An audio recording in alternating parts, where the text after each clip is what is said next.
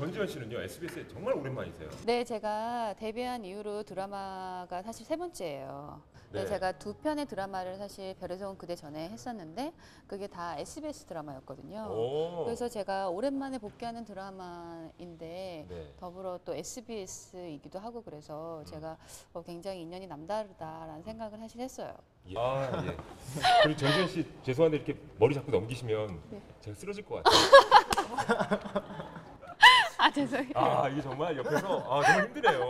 예. 김수현 씨는 이런 네. 전지현 씨하고 어떻게 연기하세요 진짜? 도둑들 네네. 처음 했을 때는 거의 막 숨도 못 쉬고 그랬는데 야 예, 지금 많이 이제 적응했습니다. 전지현 씨도 익숙해지는군요.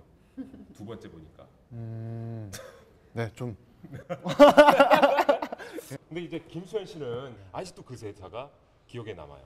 잊어달라 했느냐, 잊어주길 바랬느냐, 약간 요 느낌. 예. 거기서 이제 왕으로 나오셨잖아요. 네, 하지만 이번에는 이제 외계인으로. 외계인으로. 어떻게 보면 판타지 드라마예요. 네, 굉장히. 예. 본인이 느끼기에도 야 이게 드라마긴 합니다만은 뭔가 현실 가능성이 좀 있다. 좀 음. 생각을 하시는지.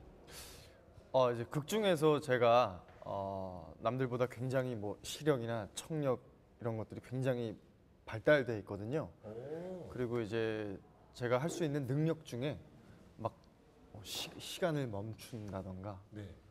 공간 이동을 한다던가 하는 부분이 있어요. 예, 그래서 사실은 예, 솔직히 말씀드리면 굉장히 현실감이 좀 없는 현실감이 없는. 판타지 로맨스 드라마. 네. 방송되기 전부터 두 분의 호흡이 엄청나다는 소문이 자자해요. 네. 수현 씨가요 굉장히 예. 굉장히 원래 굉장히 긍정적인 초 초긍정적인 사람이에요. 굉장히 밝고 네. 현장에서 뭔가 기합을 넣는 항상 그런 외계어스러운 기합들을 자주 넣으세요. 아멧 아멧 아 예. 아 그거예요? 뭐 이런 분위기인데 제가 가지고 있는 이 어떤 긍정적인 힘들은 도둑들에서 이제 처음 만나셔가지고 함께 가는 느낌으로 첫 키스도 있었습니다.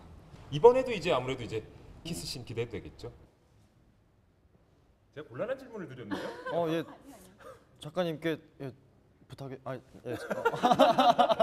얼굴도 조각, 몸도 조각. 예. 지금도 갖고 계시죠 복권? 아 그 이제 학교도 끝났고 해서 드라마 할 때는 예, 잠깐 맡겨놨습니다. 탈부착이 가능한? 예 그럼 외계인은 있을까요 없을까요? 있지 않을까요? 혹시 김수현 씨가 생각하기에 전지현 씨는 아 이런 선생님 잘 어울릴 것 같다. 국사 예 왠지 누나한테 옛날 이야기 듣고 싶지 않으세요? 내가 해줄게 나중에. 심지어 해주신대. 아 부럽네요. 전지현 씨는 그러면은 예 우리 김수현 씨가 어떤 선생님? 아. 어떻게 복수해주지? 어떻게 복수해주지? 왜저 미술 가사 가사 선생님 바느질 배우고 싶지 않으세요? 맞다. 괜찮네요. 어떻게 연하와의 로맨스 네. 느낌이 어떠신지? 어, 너무 좋죠. 더군다나 이제 김수현 씨하고 같이 호흡을 연달아서 이렇게 하는 것 자체가 음. 어, 굉장히 행운이죠. 예. 에헤.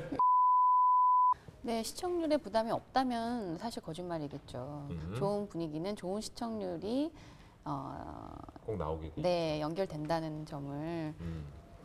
은근슬쩍 강조하고 싶으면서 아, 그분의 많은 기대를 부탁드리는 어떤 네, 당부의 말씀도 드리고 싶네요. 네. 그러니까 예, 저희 별에서 온 그대 아, 이제 좀 있으면 첫 방송을 드디어 예, 대망의 첫 방송을 하게 됐습니다. 많은 기대와 관심과 사랑으로 안아주십시오. 예, 잘 부탁드리겠습니다. 감사합니다. 괜찮겠어? 괜찮겠어?